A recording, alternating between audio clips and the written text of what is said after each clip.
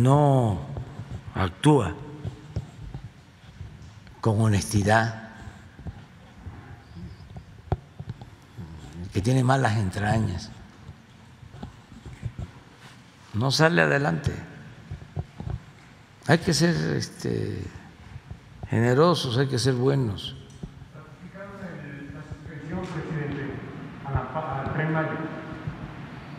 Sí, pero ya el tramo este ya es de seguridad nacional.